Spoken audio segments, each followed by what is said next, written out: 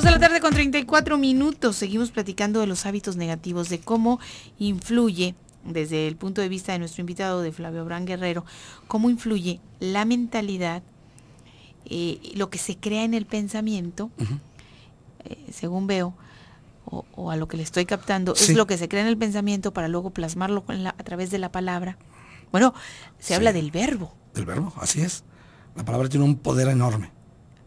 La palabra tiene un poder pues sencillamente los ritos mágicos se basan en palabras. el, verbo se hizo carne. Así es, así es. La palabra tiene un poder extraordinario. Extraordinario, extraordinario.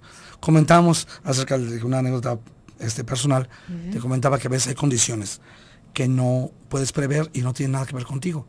Y de ellas las debes tomar como que no son nada personal. No debes decir yo fracasé. Ah, sí, recuperando el, Recuperando el tema el ejemplo con el que nos quedamos, porque yo empecé a hablarle de para que la gente que nos acababa de sintonizar tuviera la, condición de, integrarse, pero bueno. Hablábamos como cuando se acaba la importancia de un oficio. Sí.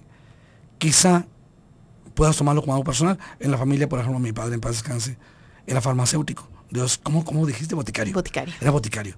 Entonces llega un momento que las boticas pasan de moda, los médicos ya no recetan fórmulas, recetan por nombre de patente. Y ese oficio desapareció. Eso pasa con muchos oficios, puede haber pasado con los herreros que raban caballos, con muchísimos oficios pasa eso. Y muchos oficios y negocios. El telégrafo.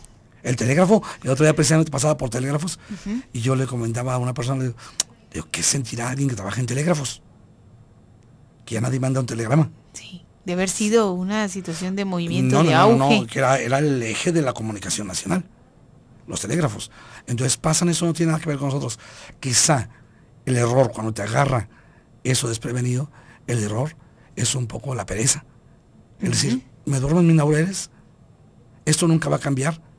Ese es un error muy grande que tiene que ver con la pereza. Y ahí vamos otra vez a esos hábitos negativos. Exactamente. Es decir, yo aquí me estanco, ya tengo mi escritorito, soy telegrafista, soy el mejor telegrafista de México y no verlo un poquito más adelante. Sí, el, constante movimiento que la sociedad tiene. Y eso no tiene nada que ver con nosotros, tiene que ver con la dinámica. Con, la dinámica, que nada, nada queda estático. Con la dinámica social, la dinámica de vida. Exactamente.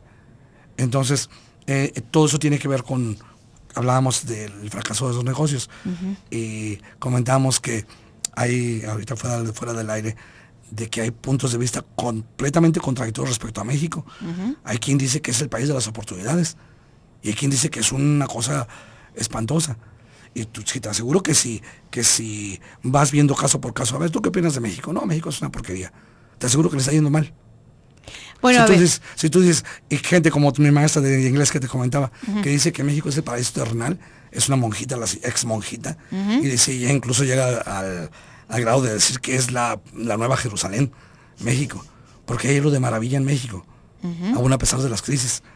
Y, tú me preguntas cómo le va a esa, a esa ex monja, le va muy bien. No está rica, pero no, no reniega de su realidad. Entonces quizá podemos ver que en el pensamiento negativo ahí hay parte de la, de la razón de, esos fracasos tan tristes. Que no dejan de ser dolorosos, que es echarse todos tus ahorros. Pero ¿cómo estás pensando? Había un mago de Las Vegas muy famoso, que le preguntaban a él, oye, ¿por qué tú sigues haciendo las mismas magias que te vemos haciendo hace 25 años? Y sigue siendo un éxito. Y él decía, es que la mayor parte de los magos de Las Vegas salen con la actitud de voy a engañar a las personas. Dice, yo salgo y le doy gracias a Dios de que esa gente se divierta con lo que hago. Es la actitud. Ok. Entonces, actitud ¿Es un pensamiento positivo? Es un pensamiento positivo. La actitud positiva, porque también hay actitudes negativas. Es la actitud lo que define en, gran medida cómo, cómo va a delinearse. Los polos. Exactamente. Lo negativo, lo positivo. Me, decías, me tú ahorita mismo, sales de, sales de un contexto donde hay negatividad y hasta sientes como que sí, como que entra la luz. Sí, sí, sí. Sí. Yo tengo un compañero conocido que desde que lo conozco, se queja de la vida. Dice, no, espérate, no puede ser, a mí me ha ido mal un año, me ha ido, seis mal, me ha ido mal seis meses. Pero que, a ti te ha ido mal 25 años.